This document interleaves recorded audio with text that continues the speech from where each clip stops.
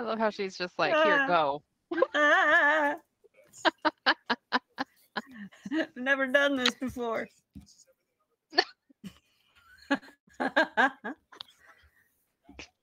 Oh, did we boop? Even? yes, we booped.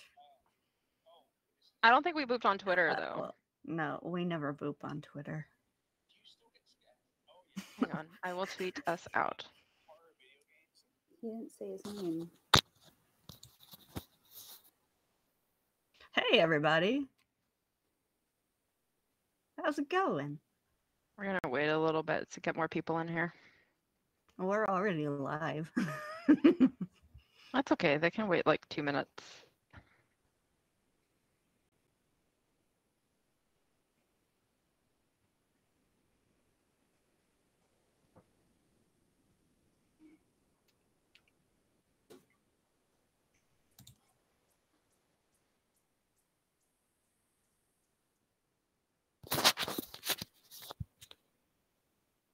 That took me.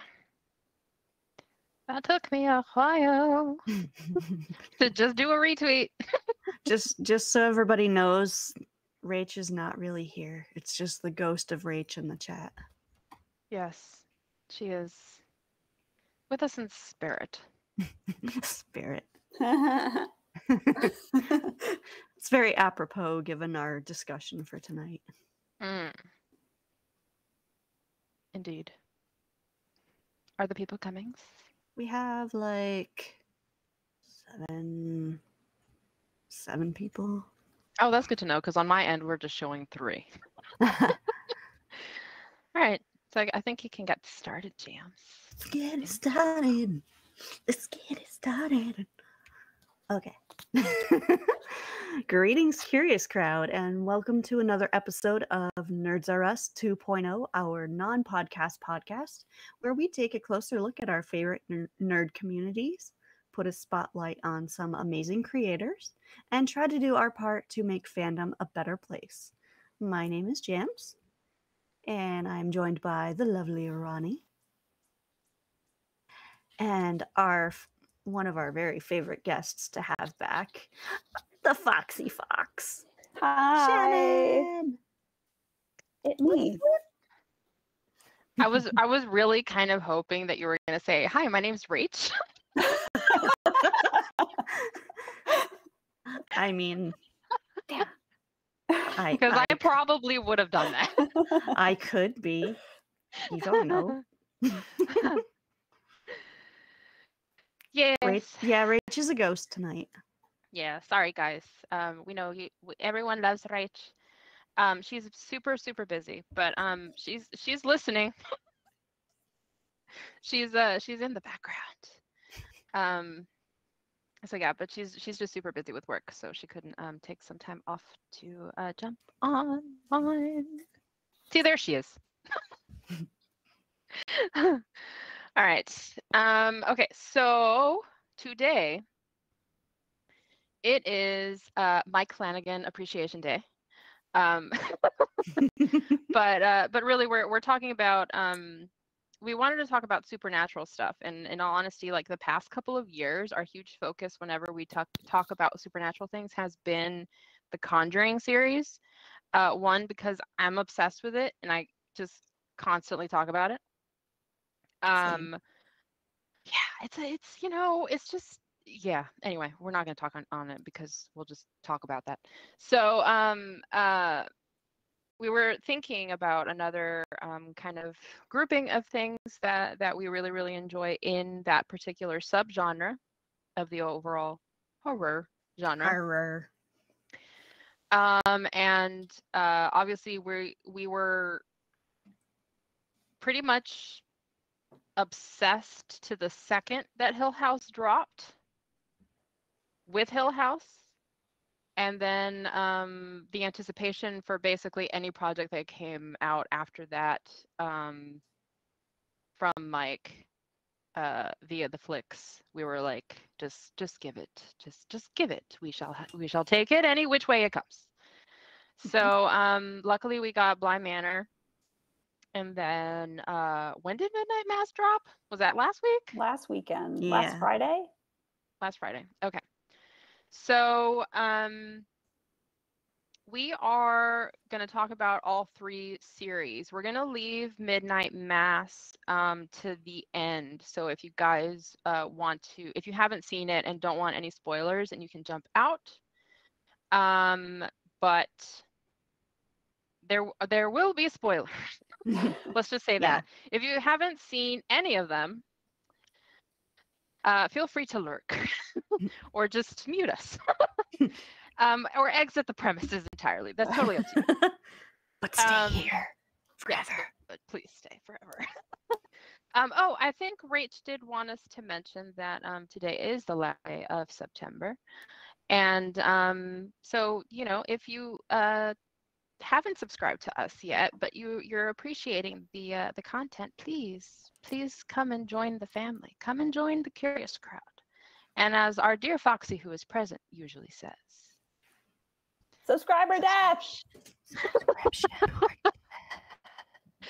subscription or motherfucking death. So, uh, there's that. she will hunt you down, but she'll give you foxy cuddles, so it might be worth it. I don't know. No, not because Halloween's coming.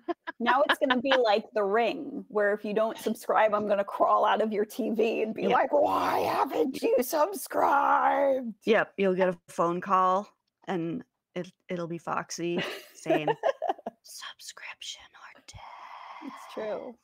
This is the And best you thing I have- have ever heard.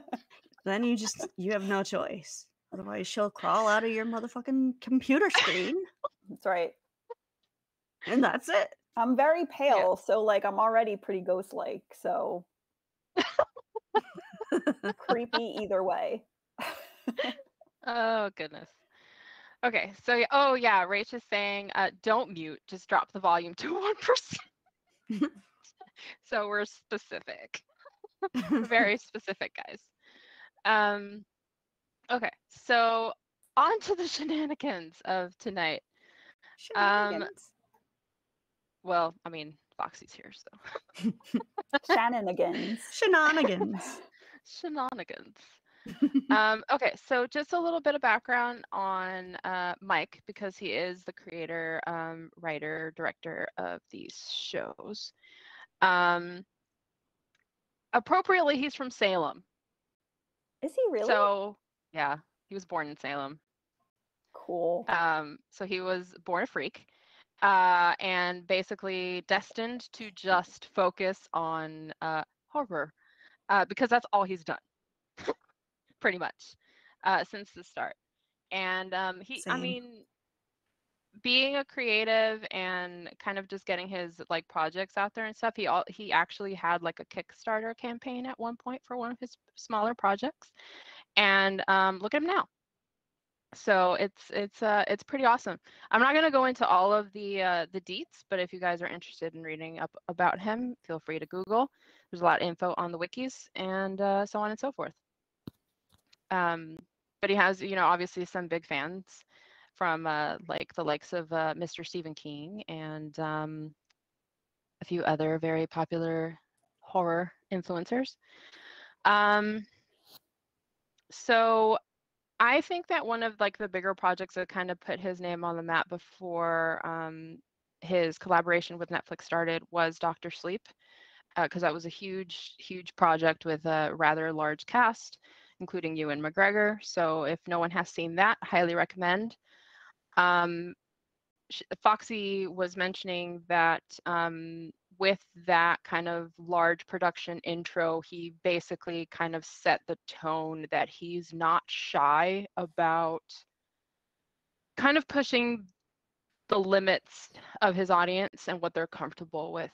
Um, it's been a while, I think, since we've had someone that kind of does some pretty raw moments and um, no one's safe really because i think uh, in a lot of um, spooky shows that we watch nowadays like even like slashers and and such um, animals are kind of safe um, and children are safe but not with mike.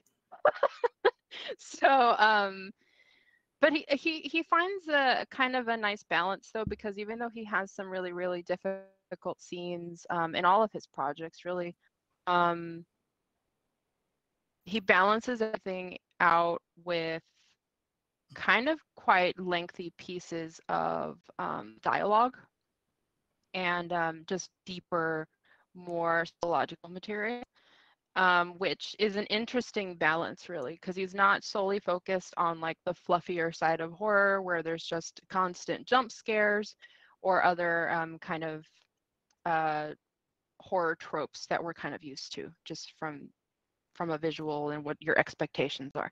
This has been a plus for some people. This has been a minus for some people, which is a good place to be because you guys know how I personally feel about that. Have some people really like your shit, have some people really hate your shit. You can't be for everybody. It's better for you to just be true to what your vision is and what it is that you want to accomplish and just put it out there and see how it flows. Um, if he was playing it too safe, we may not be talking about it. So here we are. So just a fair warning, if you haven't seen any of these again, um, and you do see them and you're like, I didn't really feel them, that's totally okay. But um, at least give them a shot because I, I do think that they're uh, very different from what we're used to in terms of the genre. All right, Yes. Foxy. I know you're super passionate about Haunting of Hill House. So Yes, I am. please tell the tell the people why you're passionate about the Haunting of Hill House. So, I mean, it's like it's a book. It's but it's nothing like the book, really. Um, it's like a it's a hor- it's a horror story, like a a ghost story with heart. Um, I really like it because I just love all the characters. Like every single one of them, I was like, well, I can't say every single one of them. There's one character I didn't like, but almost every single one of the characters, I was like, I love them. I love them, and I don't want anything bad to happen to them ever. Which I mean, it's a horror series, so bad things do happen to them. So, um, I don't know. I like it was like the perfect blend of like it was scare. Like I'm big on ghost stories, so like I know that like you can have like your your favorite out of all of his series and i think it's going to kind of go with what you like best. I really really like good ghost stories and it's one of the best ones i've seen like as a series or as a movie. Um so yeah it's just like the perfect blend of like creepy and sc- actually like scary and just a really good story and it had a lot of heart. Um yeah i like it's just the best it's literally i think it's my favorite show of all time now which previous to that it was parks and rec so that's like a big deal It's a huge So- difference, Honor. i know i know That's awesome. so Uh, yeah. We do have a question for you on who that is, who you don't like. Uh, no i'm gonna get yelled at for this because i already have i don't like shirley Oh, Sorry. well, I mean, that's understandable though. i can't Um, I get why she acts the way she acts, but and I think that I don't like her specifically because of like my personal experiences probably. um but oh she she drives I can't like she makes me so mad when I watch scenes with her. I'm like what Mm, your yeah. problem? Yeah, so she Yeah. bothers me. I think she's just so sure.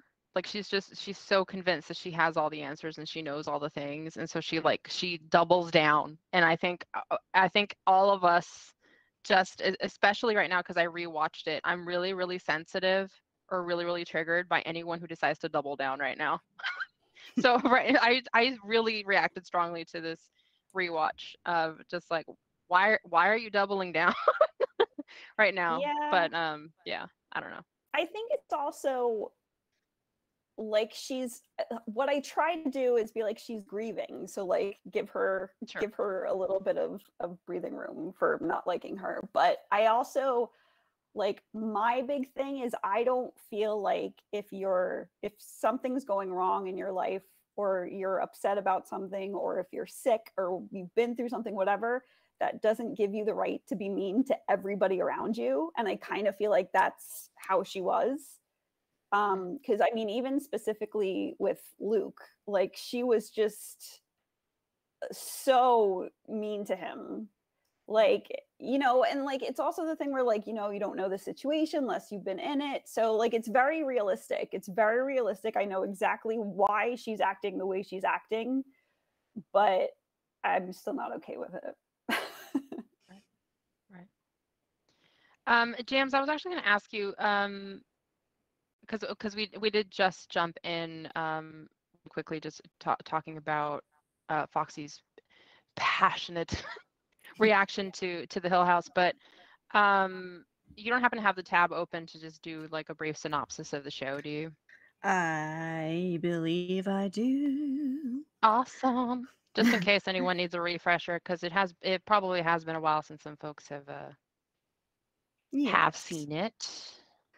So, The Haunting of Hill House is an American supernatural horror horror drama television series created and directed by Mike Flanagan, produced by Amblin Television and Paramount Television for Netflix, and serves as the first entry in the Haunting anthology series. It is loosely based on the 1959 novel of the same name by Shirley Jackson. The plot alternates between two timelines following five adult siblings whose paranormal experiences at Hill House continue to haunt them in the present day, and flashbacks depicting events leading up to the eventful night in 1992 when the family fled from the mansion. The ensemble cast features, okay, I'm probably going to say this wrong, Michelle Huisman. I think it's Michael. Well, it, mm. it looks like Michelle, but I'll say Michael Yeah. Elizabeth Reaser, Oliver Jackson Cohen, Kate Siegel, and Victoria Pedretti as the siblings in adulthood, with Carla Gugino and. And Henry Thomas as parents Olivia and Hugh Crane, and Timothy Hutton appearing as an older version of Hugh. Stellar cast, can we just say? The kid from ET is in it. I mean, like, how no. could you go wrong? Yeah, How could you go I mean, wrong? I think that I think this was the first time I actually saw that Henry Thomas was back on the scene um, doing stuff, and I was just like, "Oh, look at you! Yeah, good job." But he, I was, I found um, on the wiki on uh, Mike's page, uh, someone did uh, a recurring collaborators chart, and like if you go down to the bottom, like every single actor that he's worked with um, and all of his projects are like in a in a graph and like they've got multiple X, x's on like all the projects that he's been in or uh, they've all been in. And the majority of them all have at least two projects that they've done with him. Uh, and henry in particular has six so he's done six projects with mike and yes they're all spooky. Wow. um and so and, and the majority of them are actually before hill house. So um henry's been at it and just we just didn't know. Um Wow. so yeah it's crazy. I um but I, I do it, it is funny seeing like the directors and like just kind of consistently working with um collaborating with uh like their people like the people that they know that they can that they have a good time with i guess and then they just keep working with them um anywho's so uh jamie jams what is it that you loved so much um about hill house and as a as a huge horror fan what was it that kind of separated it for you Um, aside from how how much I loved the characters, because I I did. I loved most of the characters. It is very hard to scare me, and the scares were aplenty in this show. Like they they didn't just use jump scares. They they know how to build a, an effective scare that leaves you feeling like, oh my god. It's not just a quick jump out of your seat moment. It's actually horrifying. yeah. And after watching the show and learning about how many ghosts were in the background, going through my second time, I'm enjoying actively looking for all the ghosts in the background. So that's kind of fun. It's like fucking hunting for Pokemon, guys. Like if you just want to like just watch the show, just have it on and just like see if you can find all the fucking ghosts. Because how many are there? There's like 50 in the Something like background. that, a lot. yeah. And it's almost unsettling when you notice one in the background. You're like, oh god. I feel like the ones that he did in Bly Manor are actually more obvious and noticeable than the ones that are in Hill House. I think the ones in Hill House are a little bit more subtle and hidden visually. Because when I did rewatch Bly, I saw the um,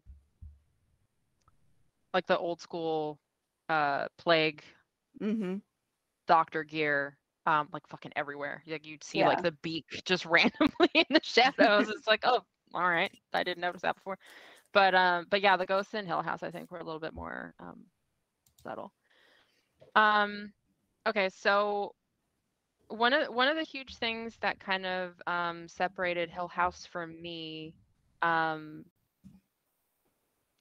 was how it was filmed actually because i think it was one of the few or maybe one i should say one of the first times because I saw the same technique used uh, recently in uh, malignant which is um making the environment that you're in a character. So which is more relevant in hill house than it is in malignant yet it's still a cool tool to use. So um Hill House, obviously, the whole fucking house is the damn character, um, and is the cause of everything. But um, they have a cool uh, one shot um, that they did that really stuck in my brain, where you can see people walking from one floor to the other, and they don't cut.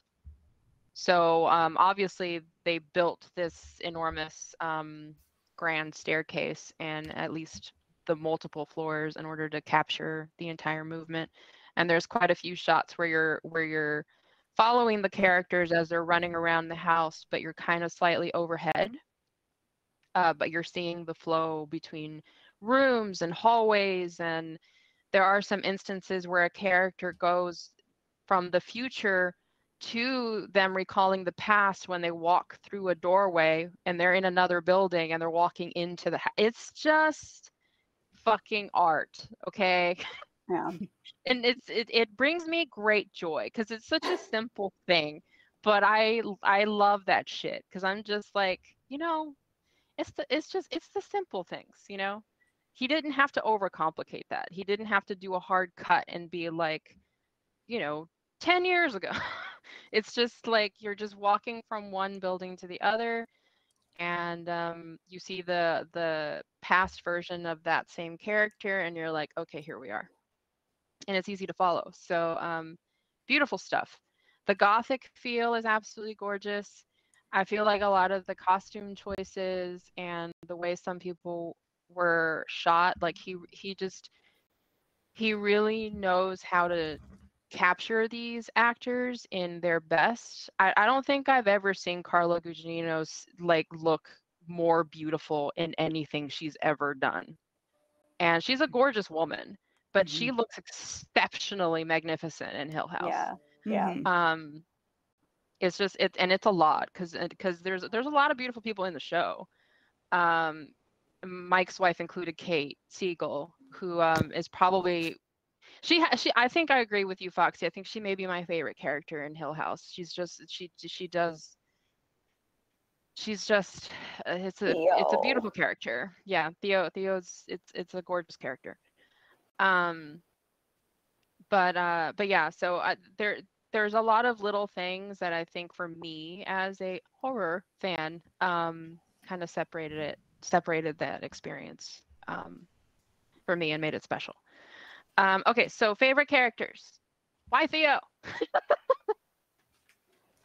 I go back and forth between honestly Theo and Luke. Mhm. Luke, yeah. Um I mean, I just I don't know. Like Luke, I, it's very much that I'm like you can tell he's a nice person and he's just struggling and like how could your you know like how could your heart not like go out to him? So um plus oh my god, the little kid who played him was Mhm. just the cute who's in the WandaVision show now. Um just the cutest little kid like ever in the world. He was so cute. Um so yeah, I think with Luke it's just eh, you know, you want to love and protect him always. With Theo, she's just so real. Like every single reaction that she has to everything is just so realistic and so messy. And I, I guess that's probably why I like her the most because I that's that's like a thing with me. I really like nice but messy characters.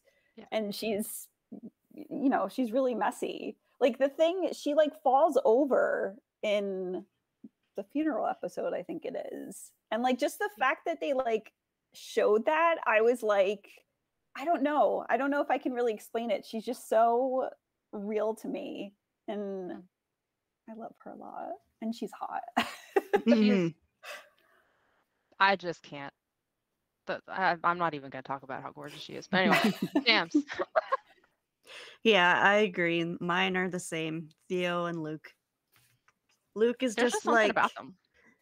yeah. Well, yeah, and I mean Oliver is he he's hot anyway, but um there's something about Luke like he's just he's got the even though he has his issues, he has this innocence about him still and it's like you want to you want to help him and give him a hug Mhm. and keep him away from the tall man. Oh, yeah. Oh, that was freaky. and I love Theo. She's just so raw and Mhm. real. Yeah. And also like just kind of juxtaposing her like having all of these walls up because she's so sensitive um with how like like touching uh, just by touching things she can like read an entire person and an entire history and see all of these visions um and so she's so rough around the edges um and not trusting of people and i don't blame her at all because of that gift that she has um so it's just it's it's i, I liked that kind of really harsh balance of um of both those extremes because there's there's no like there's no in between there. It's just like either I, I know everything about you and i have to be like totally cool with being vulnerable with that uh no.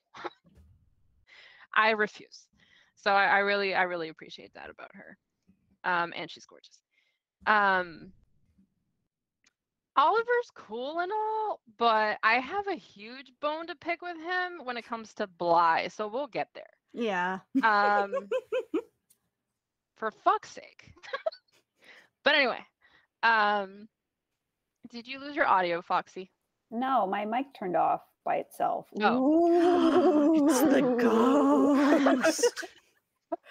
Like the button just came up. I was like, why am I muted? okay so um do you i don't know uh, i watched it recently so this may be an unfair question to you guys uh but you guys can tell me to fuck off if it is um Fuck off. um do you remember which episode distinct episode is your favorite Of Hill House. yeah of hill house I know which one I want to say, but I don't know. the number or anything like that No, I just don't know if it if it really is. So oh okay I want to say like the funeral episode only because like I watched like the behind the scenes of that and it's literally like three shots. Like the entire episode is literally only like something crazy like three shots.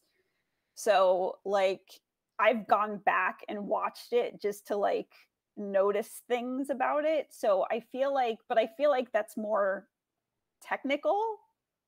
Um yeah so i don't know if it's like i don't know i don't know if that's my favorite i really like the theo like because i like they're kind of like based on each like Character, yeah. person yeah for a while i really like the theo episode um i don't know if i can pick one i guess i'll go with the funeral one just because i was so impressed by it but I don't know if it's true. Okay, go ahead. Everyone else can answer. Yeah. Janice? That's so hard because there's so many moments from different episodes that I just love. Uh, there there are moments in the very first episode too that I I love, like the whole how Steve has never actually seen a ghost and then he mm. thinks that Nell is in his apartment and his dad tells him that she's that she's dead and slowly her face starts to turn into this creepy dead thing and you're like oh my god Yeah. Yeah. I, d- um, I'm uh, gonna agree 100% with uh, Prague in the chats, and it's um, uh, the bent neck lady reveal. Mhm. I feel like that one, when it happened, just blew my mind. yeah Um, Was that the second to last one? um, I Maybe think it was the. I, I don't remember if it was the end of five. It was that Um, early? I, th- I think it, I think it was the end of five. Yeah. wow. Yeah. Um yeah, okay, thanks Prague for for uh confirming that. Yeah, so it's the end of 5. Um and I just remember like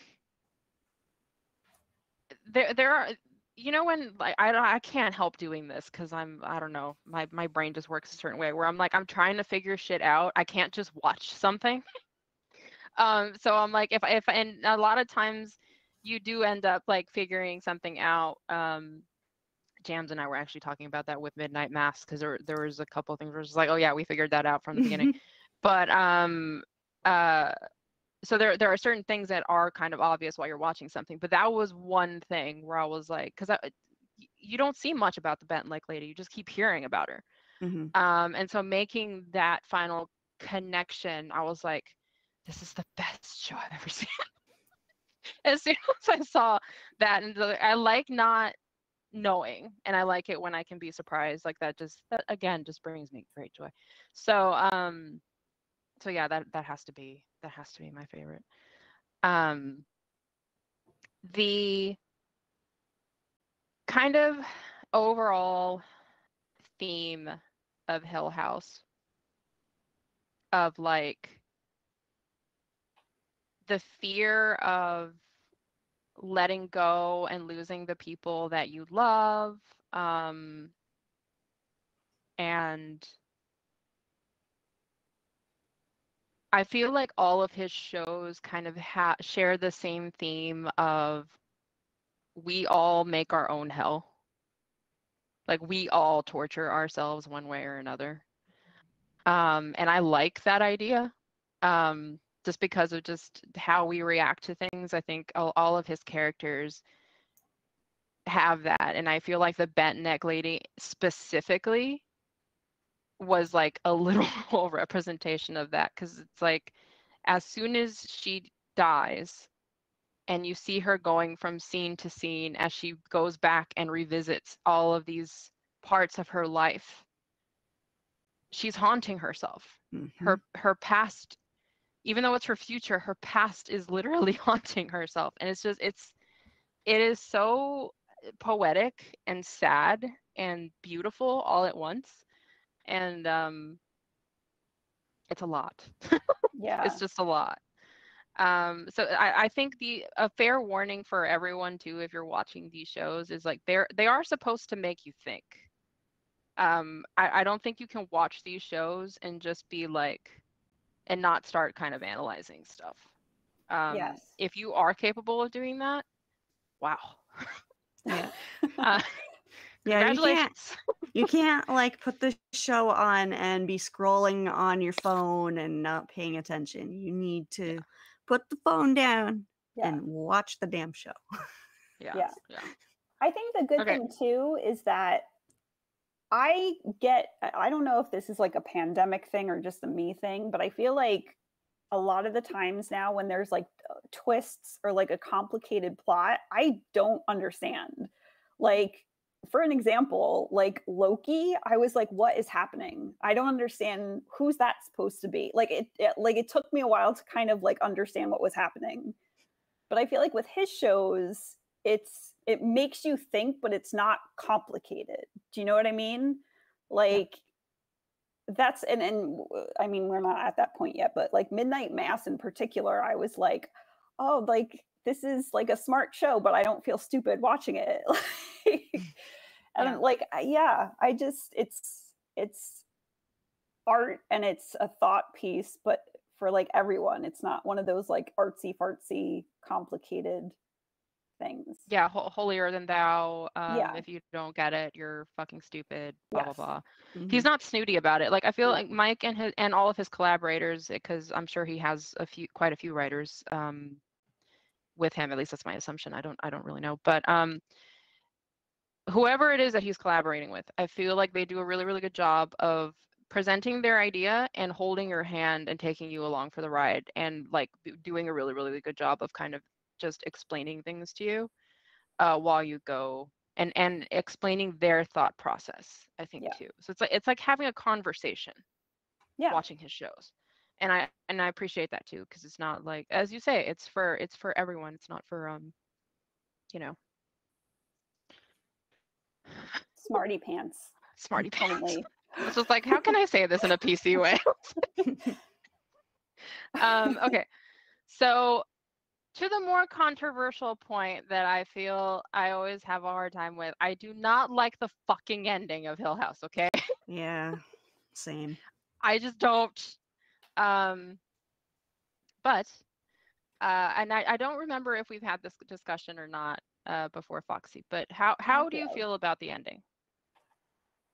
I, I feel fine about it. Um, I don't know. I didn't really have a problem with it what like why because like you guys both don't like it right? Why why? We okay, have had so, this conversation but remind me.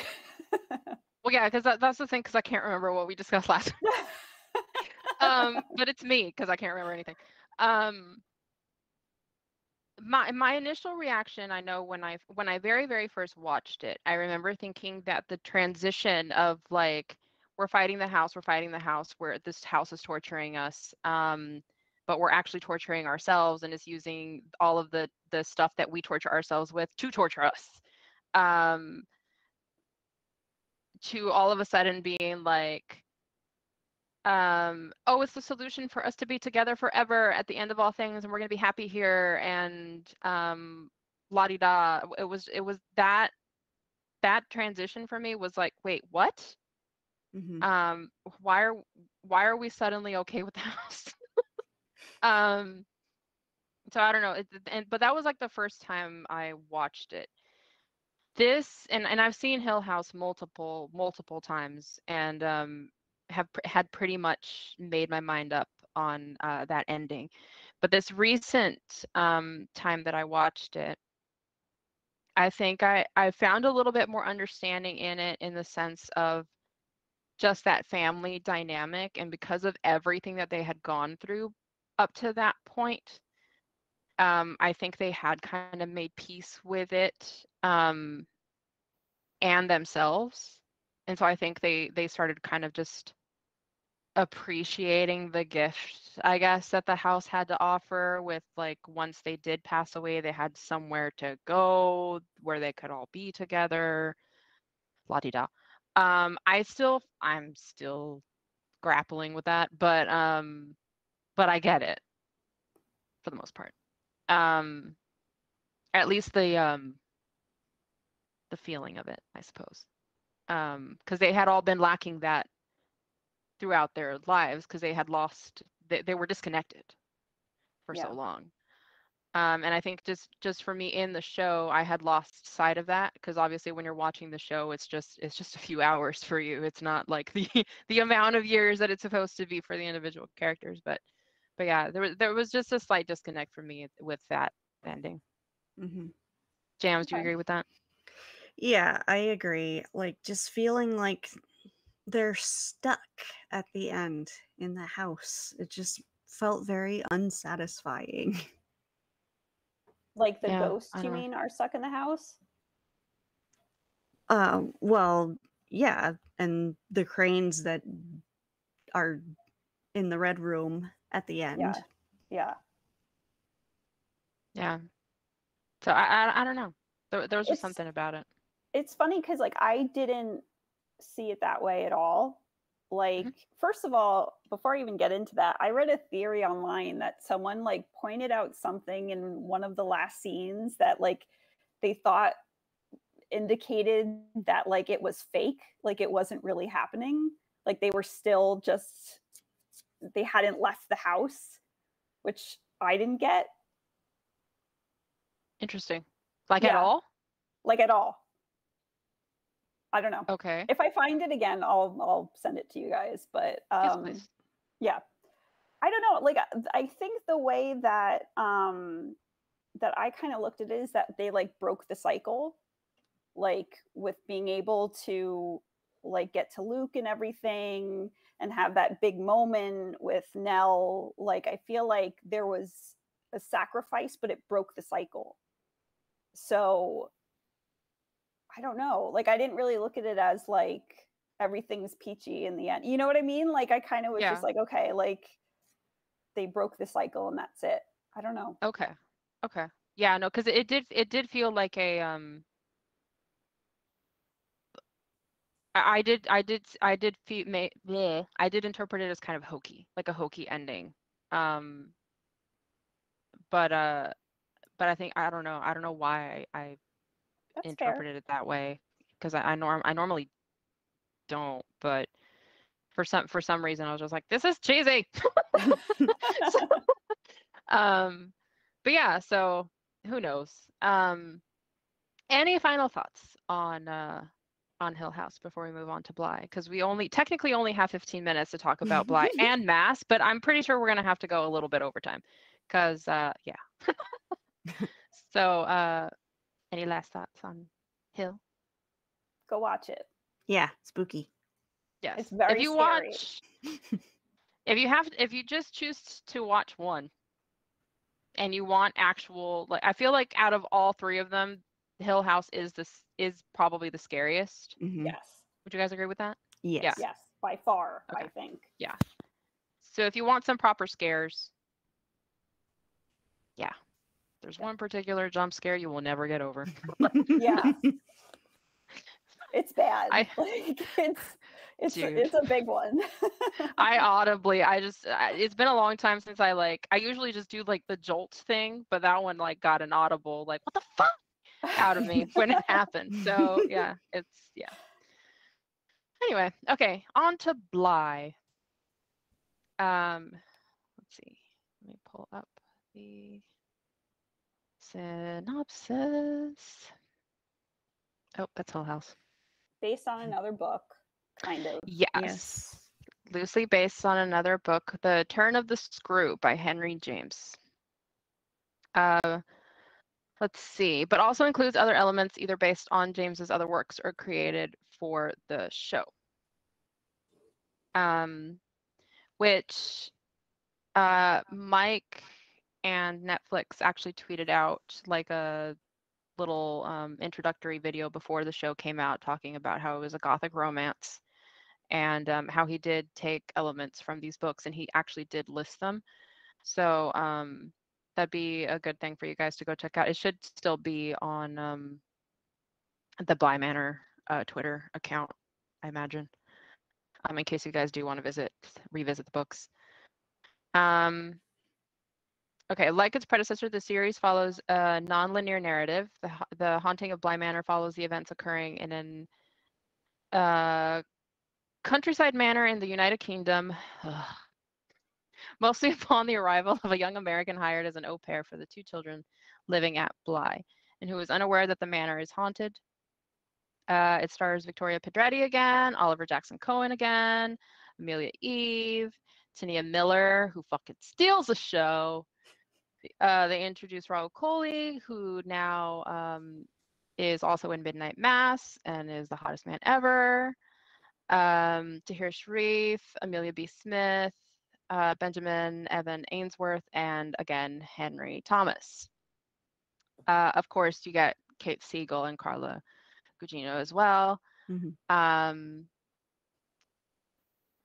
and uh, Kate is also exceptional in it, even though she doesn't come in until closer to the end.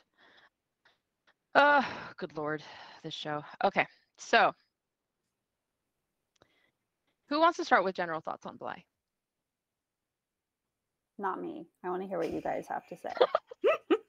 Jams, do you want to start with general thoughts on Bly?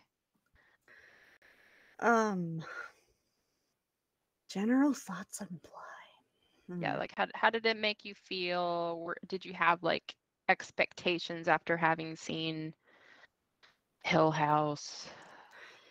Yeah, I I was definitely expecting some more scares, some spooky ghosties and stuff like that. It it still had its scary moments for sure, but it was definitely uh, not the same kind of scary as Hill House was. Agreed. Um the kids were phenomenal.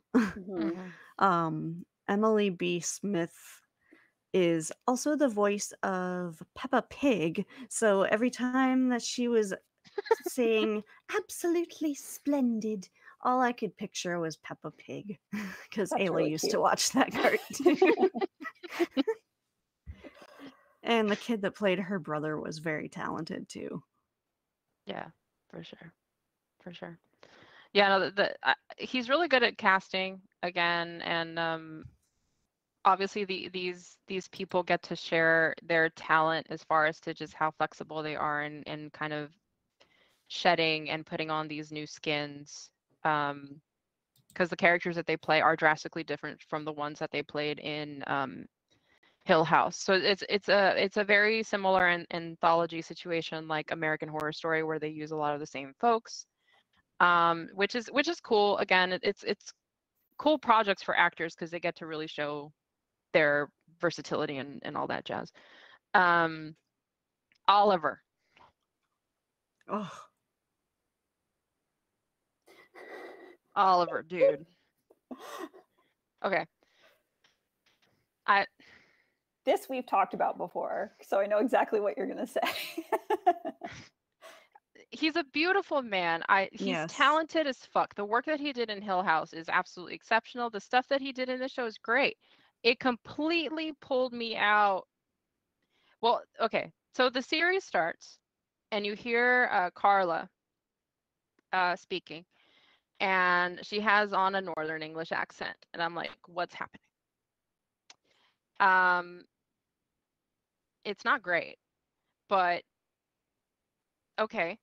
And then um, Oliver comes into the scene and he's Scottish.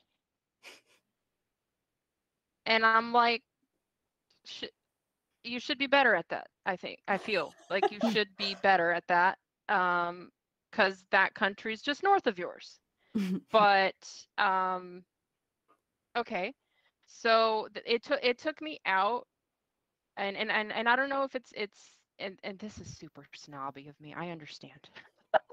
but I, I feel like it's just because we're so exposed to all of those um, accents now because of just how much content is coming from overseas that it's just like I'm I'm actually starting to pick up on it similar to like our regional accents like you can tell when someone is from certain parts of of our huge ass country but um it it it's ju- it was just very distracting for me but uh Oliver specifically like dude like I don't understand, and maybe I missed this, but like, was there a reason that they made him Scottish? Because he has, like, he has a British accent. Like, he's like naturally. Like, why would you not just let him speak? Right? Like, there wasn't like a story thing that I missed where like he had to be Scottish, right? Like, no I don't understand that choice. Yeah, no. There was there was there was no real reason to make him Scottish except for them being like, "Oh, well, let's just let's just sprinkle this in so we have a little bit more representations of the Isles." It's just like you might as well just I don't know. I don't know. I genuinely don't know. Um and also I didn't appreciate too that like he wasn't a good dude. no. It's like, why are you making the bad dude Scottish, yo? like that's I don't appreciate this. but um I don't know. I, I don't know. Just that it was just an it, they're odd choices. Just odd odd Yeah. choices. Yeah, I had some issues with the fact that his, his character and his lover uh, were, try- were trying to take over the bodies of these children so they could be together. And these children are brother and sister. That's not okay. No. no. Good no. point. Good Yeah, point. that that's a much bigger detail, yeah. it's a much bigger detail. Is it what does it say that the accent bothered me more? You were too distracted by the accent to really think about the fact that they were brother and sister. this, this is very true. Um yeah, I yeah, that's tough. That's that's a, that's a tough choice as well. Um Rachel's like, yikes. Yikes. It made me feel icky. No, yeah, you're you're you're totally right. And I it actually should. That's a good thing. I feel like it it hit me more this last time that I watched it this past weekend, um, where I was like, wait, how would this work exactly? um, so yeah, no, it's just it's just it's odd. Um, I I felt like with with uh with Bly, they tried. I think they tried to do a little bit too much maybe with the story. Um, it felt a lot more um dense. I still enjoyed it very much, and I thought it, it flowed pretty well. But um, I don't feel like the individual characters, um, their individual hauntings, tied well together. I thought they were very singular, um, and then they all just happened to be in this house, and then impacted by um, Kate's ghost Mhm. uh, the Lady of the Lake, which was technically the the main point. Mhm. Uh, but like, um, and I already forgot her name because this is me. Viola. No, no, no. Um, Pedretti's character. Oh, Dani. Dan- Dani. Thank you. Um, Dani's ghost of her like ex fiance. Um, cool effect. Mhm. he probably gave me the most jump scares early on um but and, and i understand like it's like like herself holding her like holding herself back because her guilt is holding her back and all of this uh, again everyone torturing themselves uh because that's like a recurring thing but um i just that had nothing to do with anything like i- overall um that was just her um I, I thought it was nice how that mirrored um, Rahul's character's uh, kind of internal battle with um, him taking care of his mom and her kind of holding him back and him having to move to Blythe to take care of her and like how he had all this potential that he kind of had to put aside. Um, there, there's there's a lot going on again with each individual character and it's all very very rich. Um, but I just I felt like there was just too much in it. Um, Jams, what what do you think? Yeah, there were a lot of sub stories to the main story, so it made it a little a little difficult to keep up with at times. Um my favorite episode I think was probably the tale of the two sisters. That I don't know what it was about that episode, but it just that one really stuck with me. yeah. Yeah. Yeah, that that felt like its own show too, because like y- Mhm. it's it's com- that one was it wasn't black and white, but it was like sepia toned, something like Mhm. that. Um, and it was about like just the the how the house became haunted. So that's Kate's ghost being introduced, and um, that whole that her stubbornness, and um, her just basically just not wanting to leave and wanting to basically have control over all of the circumstances and um and I mean eventually just screwing herself out of any kind of um crossing over, I guess. Mhm. She was just kind of stuck. Um and then uh proceeding to murder everybody. she just walked around the manor every night and just killing people because that was her thing. Um, did you have any big surprises like you did with Hill House? I think um Hannah, Hannah Grose, I think her story really surprised me. What do you think, Shannon? She was my favorite part of the show by Mhm. like a large amount. I, her episode was my favorite. Um, I loved her. I like kind of what you guys said. I, I think we didn't get enough time like we did in Hill House with all the characters because I wanted to really like them, and what I saw of them, I really liked. Um, Yeah. But I just didn't feel like I knew them well enough to. Not that I didn't care, but like kind of I didn't care enough. Um, with the exception of like Hannah when they finally gave her her episode, because really like I feel like we just even with Owen, like I feel like we just touched on him a minute, and I'm like, Yeah. okay, well, like we didn't really see anything about his life. Like he talked a little bit about it, but that was it. Like I honestly didn't care as much about like the kids and like the whole like ghost story there and like I like a lot of it I just was like I want to see Dani and Jamie and I want to see Owen and Hannah and these are the Yeah. characters I care about and I'm not getting anything about them. Right. So yeah, it just felt a little too messy and story heavy. There was a lot I liked about it. Like it wasn't terrible, but it was hard going in from Hill House being like, you know, Yeah. um, but yeah, Hannah by far was just the best. She stole the show. hmm Yeah, she was just Yeah. amazing. Like, give her a whole show, honestly, at this Yeah. point. No, I mean, uh, props to T'Nia and um, Rahul to who like their their work was exceptional. I mean, just Owen's monologue at the at the bonfire. I feel like that again is it's just um it's a very if it's a very long uh monologue, but it's not enough, and you want more um in the show for sure. yeah, Um, and yeah, that entire episode of um, Mrs. Grose is just uh, it's it's comparable to the bent neck lady, but not as like oh my god. Um, it, hers actually made me more sad because I felt that the way they treated it was a perfect example of what dementia looks like, uh, which is m- my biggest fear.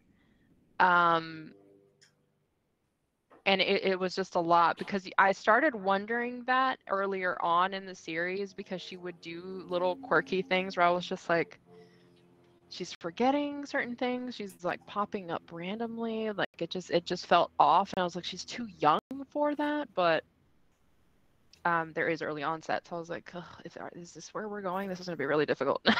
but um, but yeah, that whole that whole thing of just her not realizing and just popping up in different periods um, and not not having like a linear timeline is just it's just terrifying to me um, and it was and it was really really heartbreaking and she was amazing in it so so yeah i wish i wish we could have seen more of her as well Yeah. agreed. um this particular ending jams how do we feel about this ending I liked this ending. It made me feel warm and fuzzy. foxy Uh, half and half. I liked most of the ending, but like, can we please stop killing off happy gay couples? Like, can we please? Had enough of it. Just let them be happy. Yeah, that I didn't like. I was like, this is bullshit. Yeah, I can agree with that.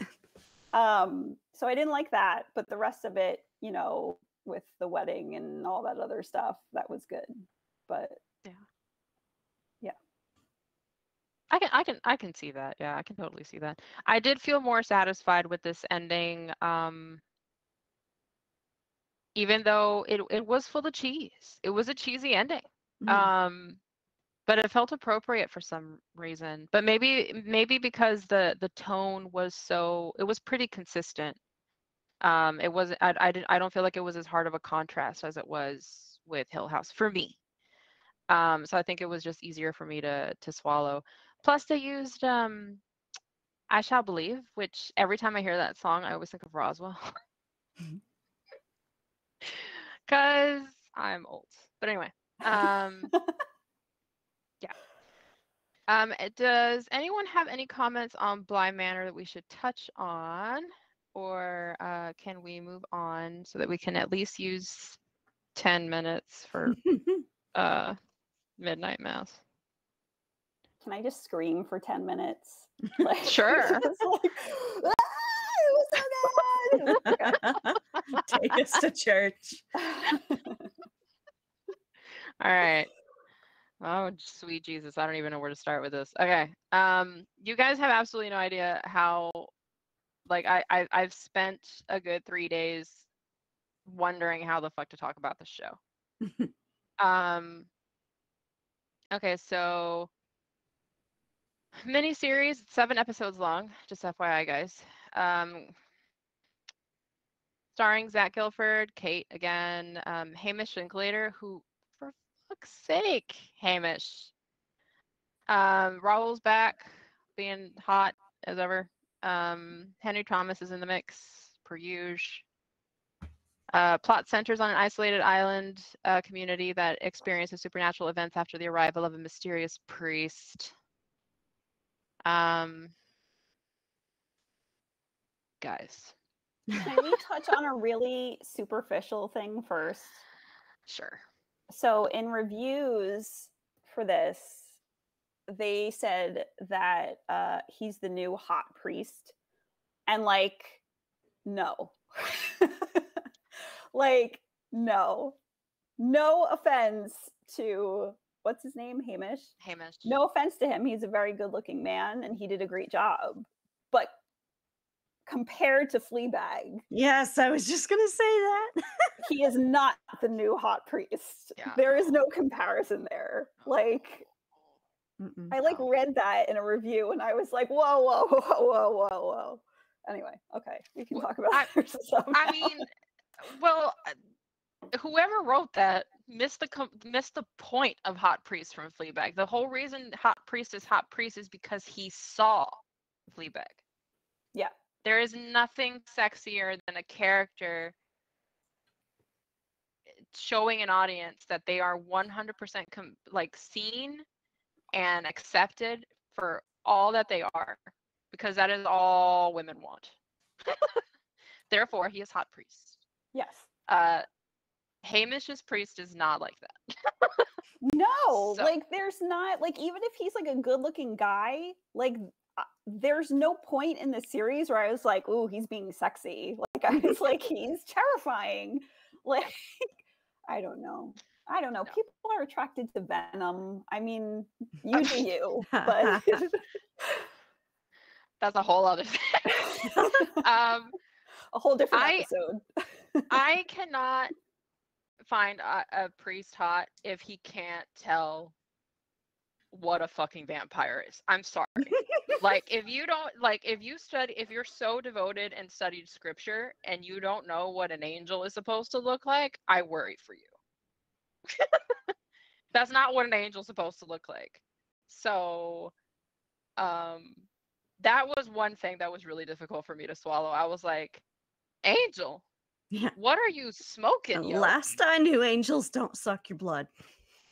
They don't suck your blood, and they don't look like that. Like, where are the feathers? Like, why is it all skin? It's got claws and shit. Like, no. Like, I don't understand how that computed, and so like I was like that was just really difficult for me. But whatever. Um, Jams and I had that moment where um we we we were both like, oh, that's the same priest.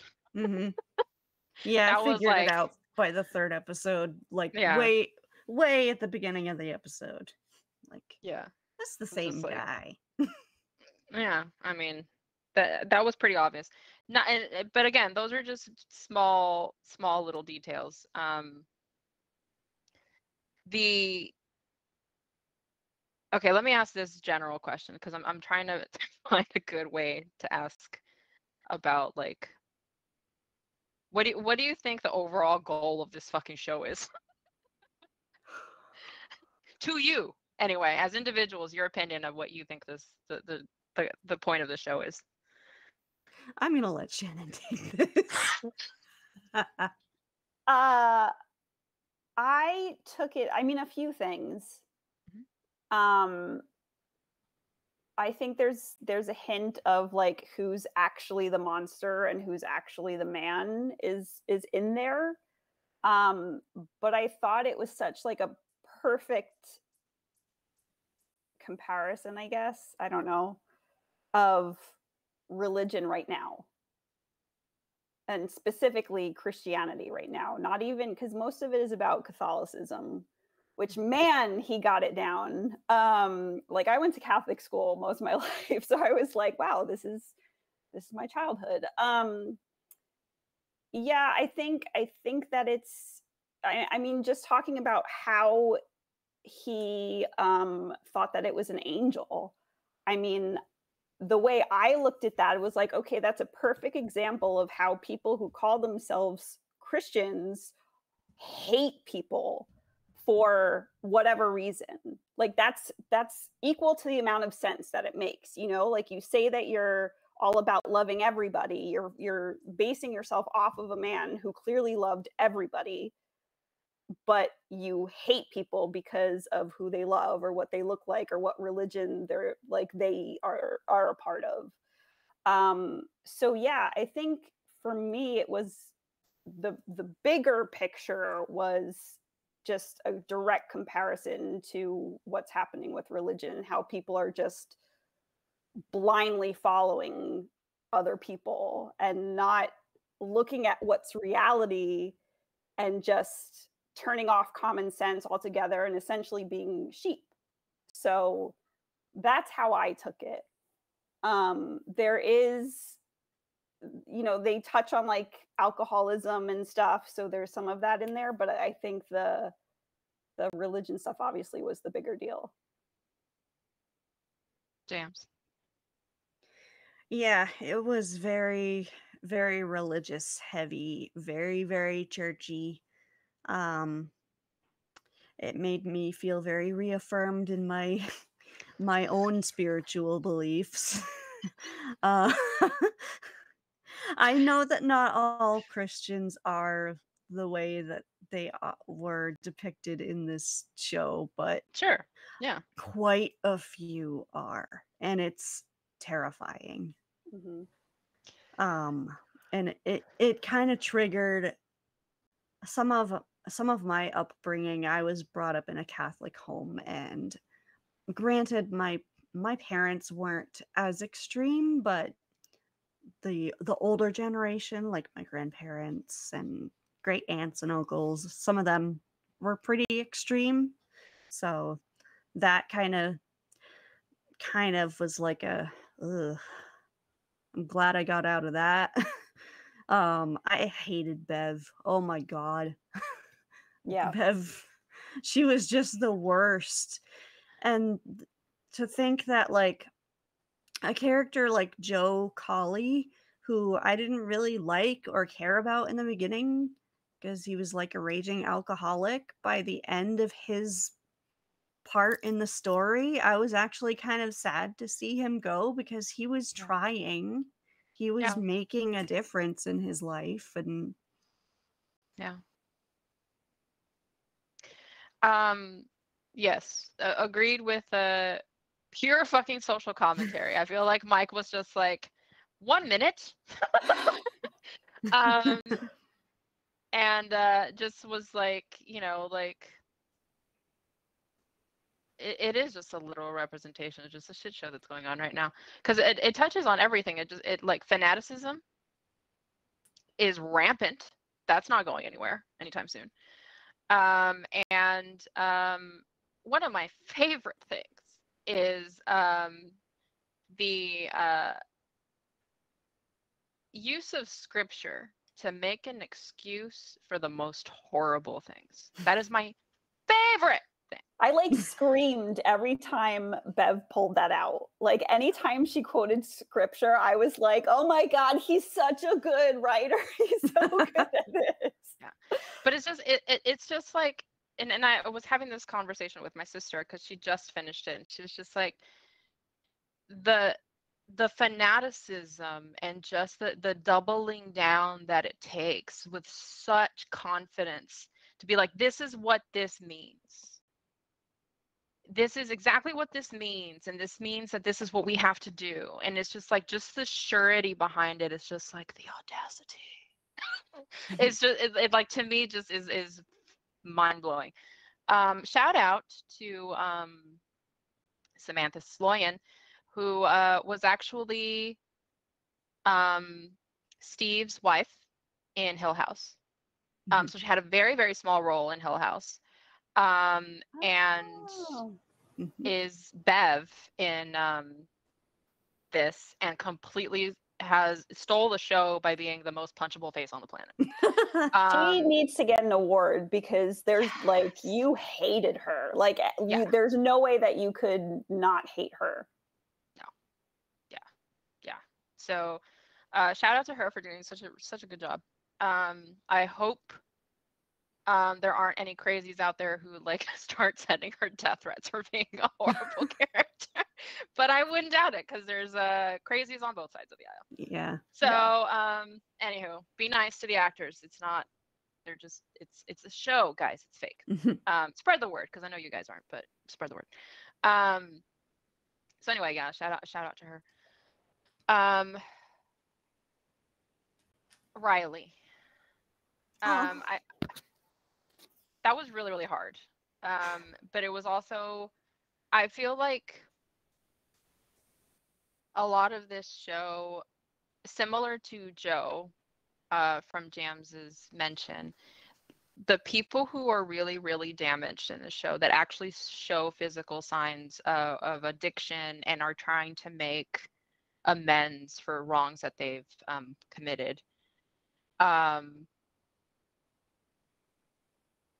are the good people on the show.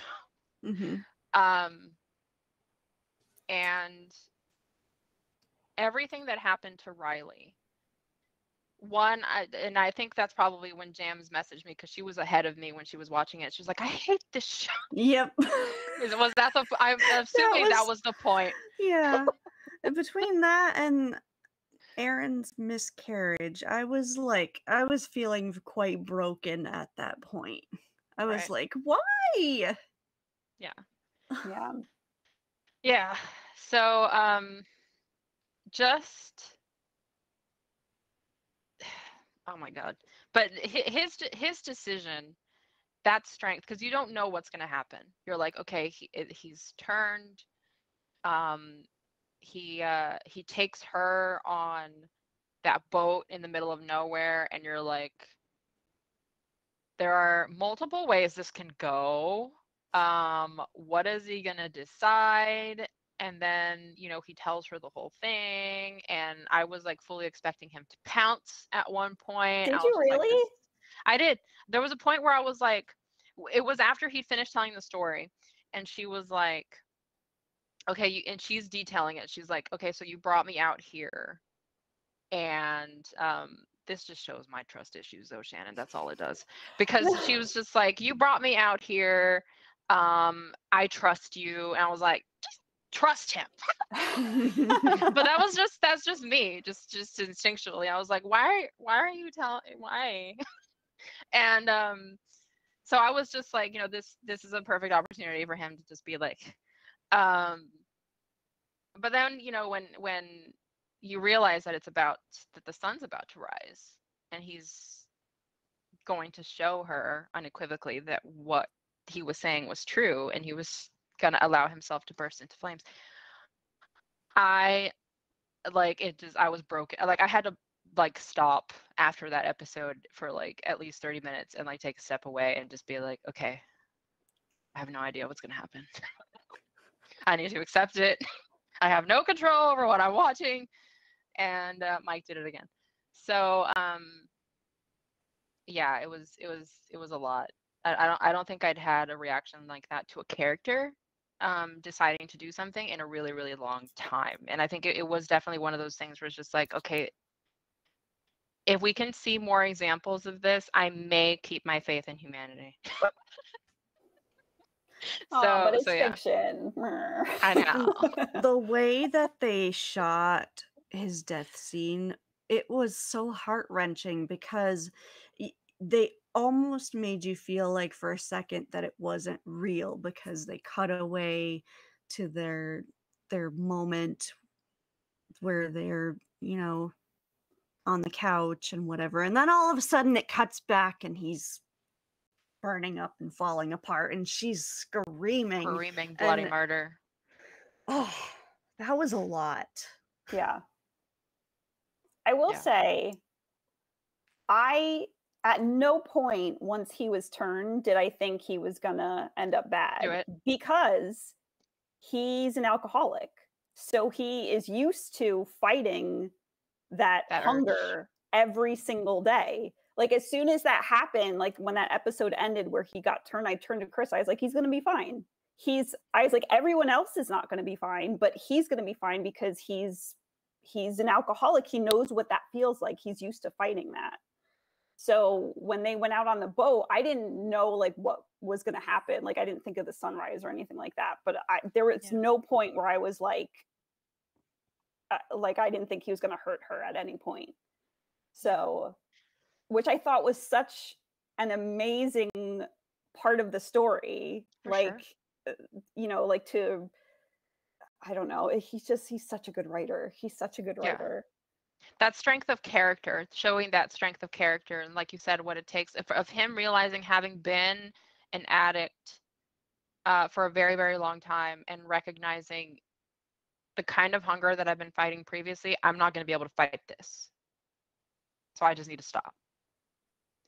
Um it's too much. It's just too much. Yeah. um okay other high points um again i feel like everything they give Rahul is just um he's just so so good um he broke my heart Mhm. yeah in the Yeah. church. Like that was really sad. yeah everything going on with his son and it- it- all that all of that was a lot um his speech at the school gathering Mhm. Absolutely necessary. I'm actually wondering um how many people um if it how many people this was like their the first time they heard that explanation? And we're Probably actually like probably i'm i'm hoping that it got through to to at least some who haven't like gone out of their way to to learn the difference between um um the quran the the torah and the bible and the Yeah. reason behind the whole like king james and all that. Every time he was talking about because there's been so many hands on the bible i was like anyway um anywho's my own personal thing. This is this is not what we're going to talk about. Um okay so there, there's so many things that we can touch on on midnight mass but we don't have time guys. So um fuck's sake what can we end on for mass Amazing, spectacular. Sad that Yeah. the people who need to watch it will not watch it probably won't and will not get it. But Yeah. or hope that the people who we think won't watch it will watch it out of rumors of pure outrage and maybe get something of it. Have, but like I don't think there's been much. I haven't seen any kind of outrage about I mean, yeah, yeah, it's new, but I feel like it Yeah. would have we would have seen something already. Um Yeah, you'd think. I, I want know. I, want it it's one of those things that I'm like make this mandatory like put this in schools like I know it's horror and there's like blood and guts and stuff like I, I know but like put this in high schools make people watch this this is so important I I just I loved it I still don't Yeah. love it as much as Hill House because I'm so connected to those characters Mhm. Sure. but it was amazing Yeah. Yeah. I feel like Hill House, and I agree with that. I feel like Hill House you can rewatch Yeah. multiple multiple times. Not Mhm. to say that you can't rewatch uh, Midnight Mass, but it's fucking a lot, guys. It's just- heavy. it's it's heavy. It's a Yeah. lot. Like And I watched all seven episodes in one day. That was a lot. I did too. I, I couldn't stop myself. I couldn't stop myself. Um, e- seven episodes, guys. Each one named after one of the books in the Old Testament. Um, because that's not on the nose, Mike. um, it does end with revelations appropriately. Um, I want to kiss him on the mouth for Midnight Mass. I mean, like when the pandemic's over. But yeah, well, yeah, no. Oh, okay. So, guys, this has been the Mike Flanagan Love Fest. Uh, thank you for coming. um no in, in all seriousness like we're we're just I, I feel like most horror fans horror fans are um we we've reached a point where we we want smart intelligent horror. Like we're just expecting a little bit more than your standard just like ah. Um which there's plenty of those. Um so if you if you do just want like a classic scare there, there's a t- shit ton of stuff. I can't even talk. Um but um it's it's nice having a more intellectual and uh, thoughtful spooky experience and um and mike's been great at uh, at serving those up so um definitely recommend you guys watching it and uh, let us know if you do venture. We'd love to hear your thoughts. I feel like we've already talked about, um, at least the three of us, we've had conversations about this for like a couple years now. Mhm. Um, and I and I think this is definitely one of those things, uh, specifically for Jams and I, like uh, The Conjuring. We'll we'll be able to talk about these um, multiple times because there's just so much.